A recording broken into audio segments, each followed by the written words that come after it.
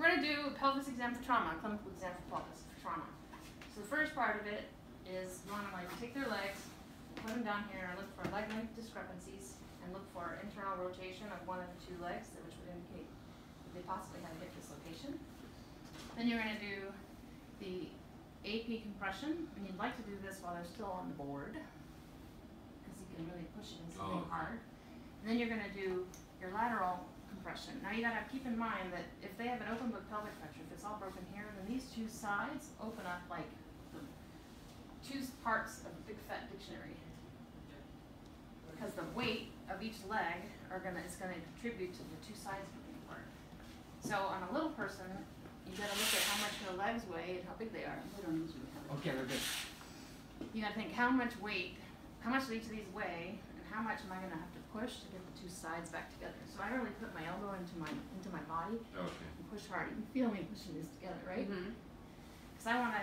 If you have someone who has a really big leg, the weight of those two legs is pulling them apart, and you gotta overcome that weight to bring these together. So the, the lateral compression is really almost it's, it's it's medial and it's a little bit anterior, just like you're closing a big dictionary.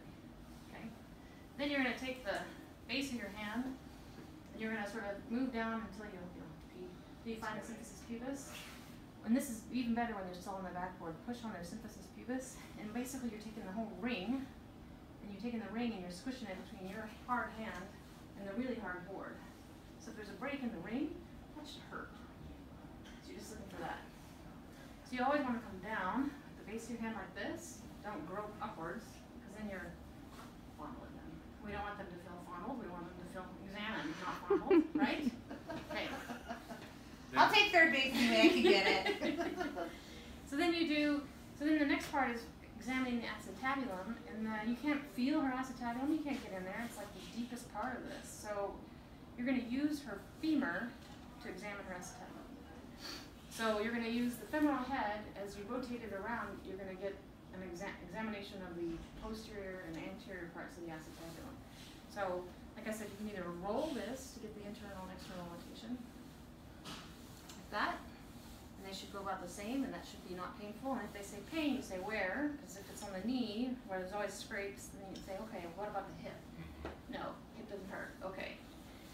I like to have them relax their legs a lot, and then support support their knee and ankle, and then rotate just this high off the bed, and use the force of my thumb to move them. So in case they have like a knee injury or an ankle injury, I'm not stressing the knee, which might be hurt also to get this to rotate.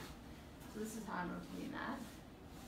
So that's how you get the posterior and anterior parts of the acetabulum, looking for them to say whether or not they have pain here in the hip. And then you just take their leg like this, bend it up, and just load their femur. And that seems like I'm hitting her really hard, but the weight she puts on it just standing up is way more force than what I just exerted. And you just, that's the roof of the acetabulum. So you're sending the femur, femoral head up into the roof of the acetabulum, try to see if there's a fracture at the top. And so you say, does that hurt? Doesn't hurt. See, it doesn't hurt. Even though it looks really vicious, doesn't hurt. If you really can't, because they have this big laceration here, you can, when they don't have those shoes on, Yeah, yeah, I don't um, want that. load them from the, from the foot. If they don't have anything else here, but they have a big lac here. So that's the front. Then you go around to the back. And then as you're doing the spine, you're going, does this hurt, does it hurt, does it hurt, blah, blah, blah, all the way down. And when you get to the bottom of the spine, there's the, some people have little dimples here. Yeah. These are the, this is the top of the SI joint. And right up here is the posterior, superior iliac crest or iliac spine. You're gonna find the top of their SI joint and you can feel it right in here. You're gonna push there. So you wanna feel like whether they have any SI pain or dislocation, because usually if you have a break in the ring, you have a break in the front, then you have a break along the sacrum, because that's how it fails, especially with the lateral compression. So I feel the top of their SI joint, say, does that hurt? And then I take my thumbs and I just push down like the first three or four inches of their sacrum, looking for pain along the sacrum. I don't go all the way down to the coccyx, because I don't care about the coccyx, and because it's somewhat invasive Okay. just like roping around in their groin in the front. I don't need to do that to them because that part's not that important. That's what I consider a good clinical exam. Is, is rectal exam a part of your pelvic exam?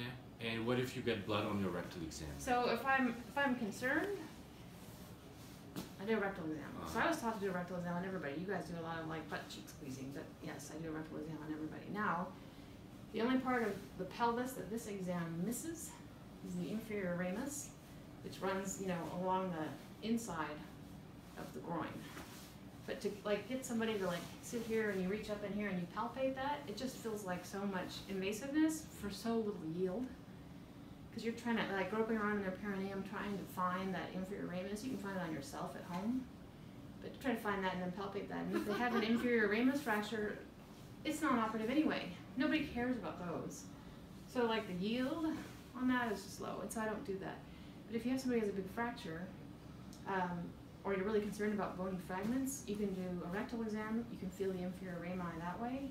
Again, I don't do that on normal people because I don't think they can distinguish the discomfort of having somebody's finger up their bottom with like the oh, yeah, well that ram that side really really hurts more so than just being invaded in that way. You know, they just don't say that. They're like ah every time they get a rectal exam.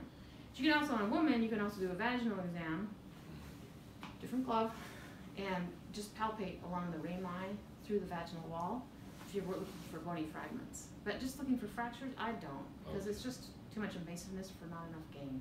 Okay. And just for the last time, what are your indications for a pelvic X-ray? So for you mean a, an AP pelvis? Uh, a, trauma X-ray. Yeah, pelvis. portable. Portable Yes, pelvis portable. is hemodynamic instability, or because of our protocol, it's a blunt red, or I can't rule out a hip dislocation based on my exam. You know that I, I can rotate him a little bit, but I can't rotate this leg as far. Yeah. And she's like, ah, that really hurts. Versus this side, I can go all the way in, all the way out. This side, I can't. Or she's got some, you know, like internal rotation and shortening. Or this is so broken that I can't do any of this test. Because like she's got a femur fracture here, this foot's falling off. I can't isolate out this, I can't use the femur to examine the acetabulum, so I can't, I can't tell. I just can't tell. Or she's intubated and I don't have that part of the exam. Mm-hmm. You know, I just can't do it, so then you gotta do it to rule it out. And dislocation, you rule it by moving the leg, you said, and also by the length. Mm-hmm, leg length discrepancy, so the shorter one, because remember it's usually, it's usually dislocated out the back. So the shorter one is the, is the bad one. And it's usually internally rotated like that, so it's shorter. And you can't get it all the way out. I can't, you can't do this to them, they don't come all the way out equal. No. Or they don't, you know, you can, you can rotate them a little bit, you can do some like inward rotation, but you can't do this. They won't go out, because they're, you know, the, the head is like jutted out this way. So you can kind of rotate them in a little bit, when you try to go out, they just, they can't do it. Thank you, ma'am. Thank. That's my pleasure. Thank you. Here to call